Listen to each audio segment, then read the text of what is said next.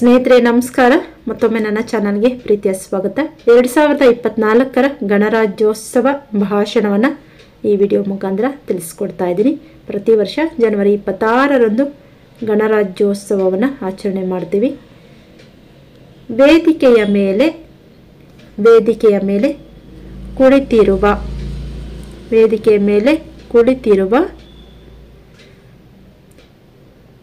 ಗೌರವನೀಯ ಗೌರವನೀಯ. ಗೌರವನೀಯ. ಗಣ್ಯರಿಗೆ. ಗಣ್ಯರಿಗೆ. ಶಿಕ್ಷಕರಿಗೆ. ಶಿಕ್ಷಕರಿಗೆ. ಪೋಷಕರಿಗೆ. ಪೋಷಕರಿಗೆ. ಆತ್ಮೀಯ ಆತ್ಮೀಯ ಗೆಳೆಯ ಗೆಳತಿಯರಿಗೆ ಗೆಳತಿಯರಿಗೆ ಶುಭೋದಯ ಶುಭೋದಯ ಮತ್ತು ಎಪ್ಪತ್ತೈದನೇ ಗಣರಾಜ್ಯೋತ್ಸವ ಗಣರಾಜ್ಯೋತ್ಸವ ಕಾರ್ಯಕ್ರಮಕ್ಕೆ ಸ್ವಾಗತ. Next para. ಇಂದು ವೇದಿಕೆ ಮೇಲೆ ಕುಳಿತಿರುವಂತಹ ಗೌರವನೀಯ ಗಣ್ಯರಿಗೆ, ಶಿಕ್ಷಕರಿಗೆ, ಪೋಷಕರಿಗೆ, ಆತ್ಮೀಯ ಗೆಳೆಯ, ಗೆಳತಿಯರಿಗೆ ಶುಭೋದಯ ಮತ್ತು ಎಪ್ಪತ್ತೈದನೇ ಗಣರಾಜ್ಯೋತ್ಸವ ಕಾರ್ಯಕ್ರಮಕ್ಕೆ ಸ್ವಾಗತ. ಇಂದು ಜನವರಿ ಇಪ್ಪತ್ತಾರು, ಎರಡು ಸಾವಿರದ ಇಪ್ಪತ್ತ್ನಾಲ್ಕು ನಮ್ಮ ಸಂವಿಧಾನ ಸಂವಿಧಾನ ಜಾರಿಗೆ ಜಾರಿಗೆ ಬಂದ ದಿನ. ನಮ್ಮ ದೇಶವು ನಮ್ಮ ದೇಶವು ಸಾವಿರದ ಒಂಬೈನೂರ ನಲವತ್ತೇಳು ಆಗಸ್ಟ್ ಹದಿನೈದರಂದು ಹದಿನೈದರಂದು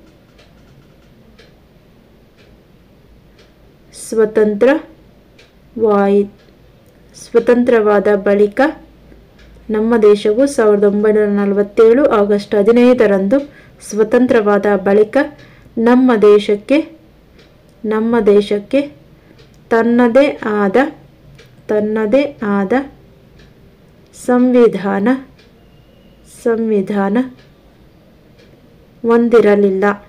ನಮ್ಮ ದೇಶವು ಸಾವಿರದ ಒಂಬೈನೂರ ನಲವತ್ತೇಳು ಆಗಸ್ಟ್ ಹದಿನೈದರಂದು ಸ್ವತಂತ್ರವಾದ ಬಳಿಕ ನಮ್ಮ ದೇಶಕ್ಕೆ ತನ್ನದೇ ಆದಂತಹ ಸಂವಿಧಾನ ಹೊಂದಿರಲಿಲ್ಲ ಬ್ರಿಟಿಷ್ ಬ್ರಿಟಿಷ್ ಸರ್ಕಾರ ಜಾರಿಗೆ, ಬ್ರಿಟಿಷ್ ಸರ್ಕಾರ ಜಾರಿಗೆ ತಂದ, ತಂದಿದ್ದ ತಂದಿದ್ದ ಕಾನೂನುಗಳಿಂದ ಕಾನೂನುಗಳಿಂದ ಆಡಳಿತ ಕಾನೂನುಗಳಿಂದ ಆಡಳಿತ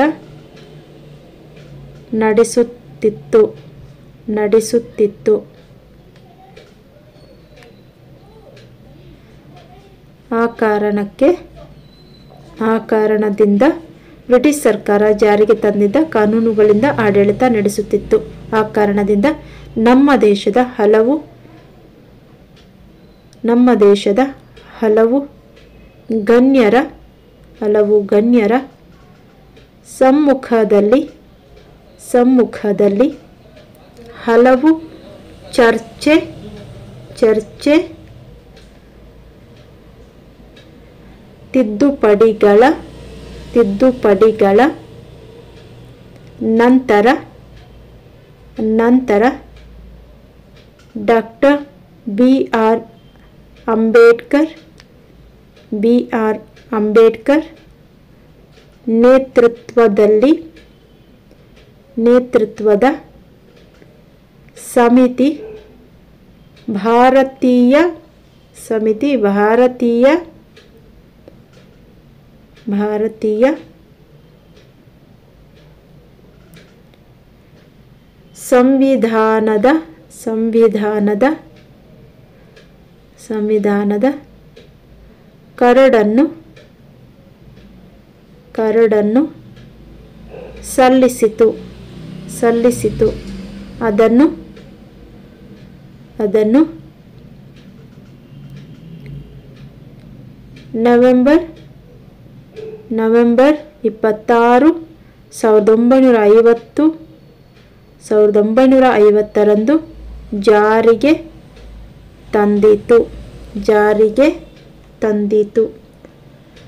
ಭಾರತೀಯ ಭಾರತೀಯ ಸಂವಿಧಾನವು ಸಂವಿಧಾನವು ಜನವರಿ ಇಪ್ಪತ್ತಾರು ಜನವರಿ ಇಪ್ಪತ್ತಾರು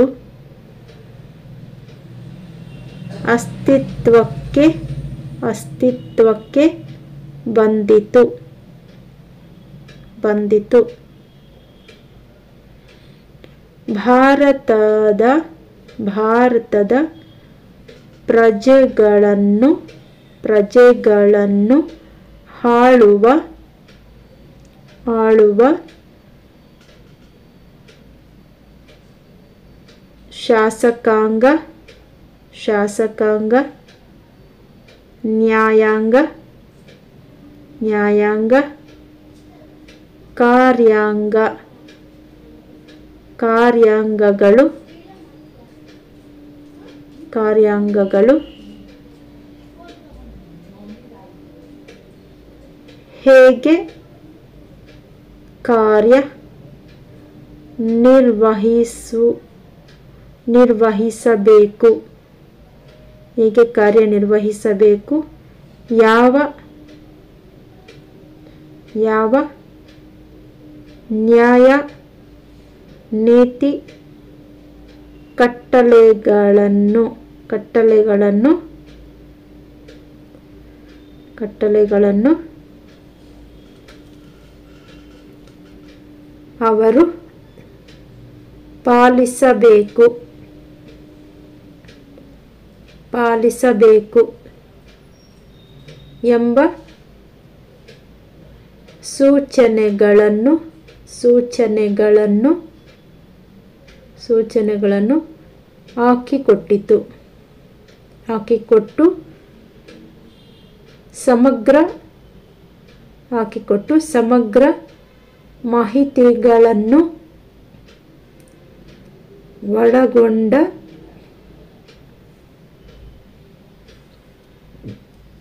ಸಂವಿಧಾನವು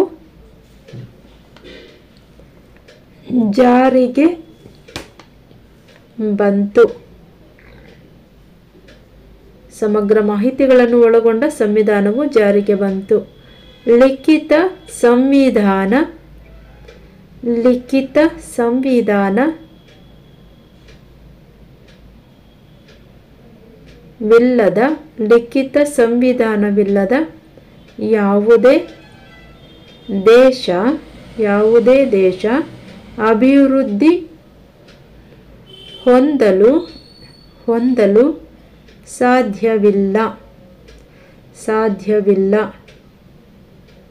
ಇದನ್ನು ಗಮನದಲ್ಲಿಟ್ಟುಕೊಂಡ ಗಮನದಲ್ಲಿಟ್ಟುಕೊಂಡು ಇಪ್ಪತ್ತು ಇನ್ನೂರ ತೊಂಬತ್ತೊಂಬತ್ತು ಇನ್ನೂರ ತೊಂಬತ್ತೊಂಬತ್ತು ಸದಸ್ಯರನ್ನು ಹೊಂದಿರುವಂತಹ ಹೊಂದಿರುವಂತಹ ಸಂವಿಧಾನ ಸಭೆಯನ್ನು ಸಂವಿಧಾನ ಸಭೆಯನ್ನು ರಚಿಸಲಾಯಿತು. ರಚಿಸಲಾಯಿತು. Doctor Rajendra Prasad, doctor Rajendra Prasad.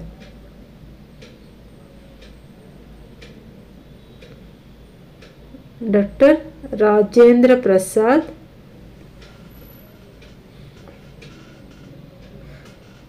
ಅಧ್ಯಕ್ಷತೆಯಲ್ಲಿ ಅಧ್ಯಕ್ಷತೆಯಲ್ಲಿ ಮೊದಲ ಸಭೆ ಮೊದಲ ಸಭೆ ಡಿಸೆಂಬರ್ ಸಾವಿರದ ಒಂಬೈನೂರ ನಲವತ್ತಾರರಂದು ನಡೆದು ನಡೆದು ಮತ್ತು ಎರಡು ವರ್ಷ ಹನ್ನೊಂದು ತಿಂಗಳು ಹದಿನೆಂಟು ದಿನಗಳ, ಹದಿನೆಂಟು ದಿನಗಳಲ್ಲಿ ಅಂತಿಮವಾಗಿ ಅಂತಿಮವಾಗಿ ನವೆಂಬರ್ ಇಪ್ಪತ್ತಾರು, ಸಾವಿರದ ಒಂಬೈನೂರ ನಲವತ್ತೊಂಬತ್ತರಂದು.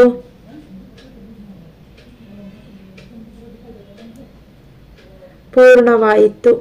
ನಂತರ ಜನವರಿ ಇಪ್ಪತ್ತಾರು ಜನವರಿ ಇಪ್ಪತ್ತಾರು, ಸಾವಿರದ ಒಂಬೈನೂರ ಐವತ್ತರಂದು, ಸಾವಿರದ ಒಂಬೈನೂರ ಐವತ್ತರಂದು ಜಾರಿಗೆ ತರಲಾಯಿತು. ಜಾರಿಗೆ ತರಲಾಯಿತು. ಈ ದಿನವನ್ನೇ ಈ ದಿನವನ್ನೇ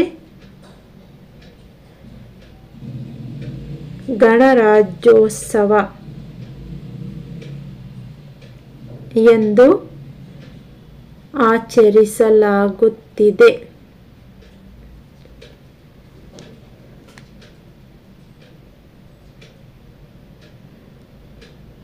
ಭಾರತೀಯ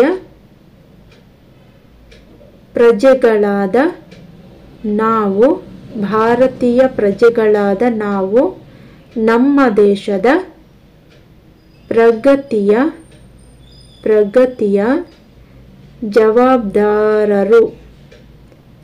ಜವಾಬ್ದಾರರು. ಭಾರತವು ಬ್ರಿಟಿಷರ ಬ್ರಿಟಿಷರ ಆಳ್ವಿಕೆಯಲ್ಲಿ ಆಳ್ವಿಕೆಯಲ್ಲಿ ಗುಲಾಮ ದೇಶವಾಗಿತ್ತು ದೇಶವಾಗಿತ್ತು. ಆದರೆ ಆದರೆ ಸಾವಿರಾರು ಸಾವಿರಾರು ಸ್ವಾತಂತ್ರ್ಯ ಹೋರಾಟಗಾರರ ಹೋರಾಟಗಾರರ ತ್ಯಾಗದ ತ್ಯಾಗದ ಪ ಫಲವಾಗಿ ಹಲವು ವರ್ಷಗಳ ಹಲವು ವರ್ಷಗಳ ಹೋರಾಟದ ಹೋರಾಟದ ನಂತರ ಹೋರಾಟದ ನಂತರ ಸ್ವಾತಂತ್ರ್ಯ ಪಡೆದುಕೊಂಡಿದೆ ಪಡೆದುಕೊಂಡಿದೆ. ನಮ್ಮ ದೇಶದಲ್ಲಿನ ನಮ್ಮ ದೇಶದಲ್ಲಿನ ಭ್ರಷ್ಟಾಚಾರ ಅನಕ್ಷರತೆ ಭ್ರಷ್ಟಾಚಾರ ಅನಕ್ಷರತೆ, ಅಸಮಾನತೆ ಮತ್ತು ಅಸಮಾನತೆ ಮತ್ತು ಇತರ ಸಾಮಾಜಿಕ ಇತರ ಸಾಮಾಜಿಕ ತಾರತಮ್, ತಾರತಮ್ಯದ ತಾರತಮ್ಯದ ಗುಲಾಮರಾಗಲು ಬಿಡಬಾರದು.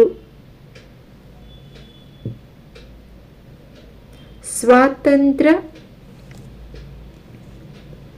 ಪಡೆದ ಸ್ವಾತಂತ್ರ್ಯ ಪಡೆದ ಏಳು ದಶಕಗಳ, ಏಳು ದಶಕಗಳಲ್ಲಿ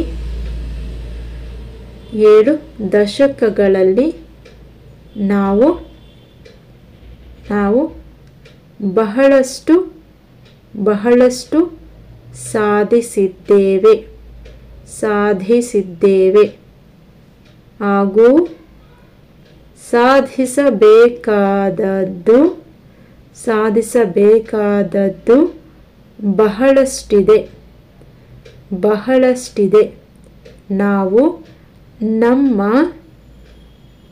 ಜವಾಬ್ದಾರಿಗಳನ್ನು ನಾವು ನಮ್ಮ ಜವಾಬ್ದಾರಿಗಳನ್ನು ಅರಿತು ದುಡಿಯಬೇಕು. ದುಡಿಯಬೇಕು. ಒಗ್ಗಟ್ಟಿನಲ್ಲಿ ಬಲವಿದೆ. ಎಂಬ ಎಂಬುದನ್ನು ಅರಿತು ನಡೆಯಬೇಕು.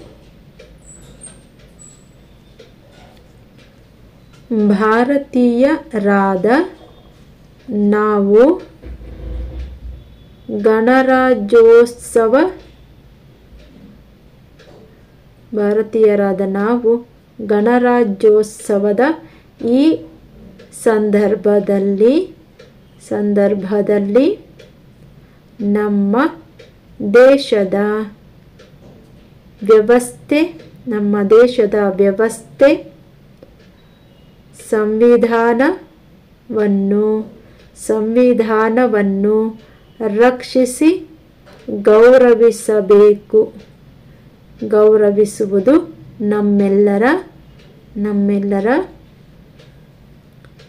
ಮೂಲಭೂತ ಮೂಲಭೂತ ಕರ್ತವ್ಯವಾಗಿದೆ.